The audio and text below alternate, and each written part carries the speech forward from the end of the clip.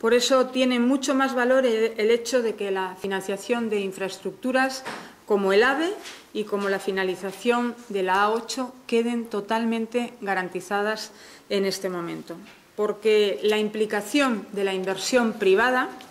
nos garantiza que se mantiene el ritmo inversor en infraestructuras sin reducir la aportación que el Estado realiza a nuestra región para el sostenimiento de las pensiones, para nuestro sistema sanitario y educativo y para el desarrollo de la ley de dependencia, entre otros. Y creo que esto es importante resaltarlo en estos momentos. Es evidente que esa fórmula de colaboración público-privada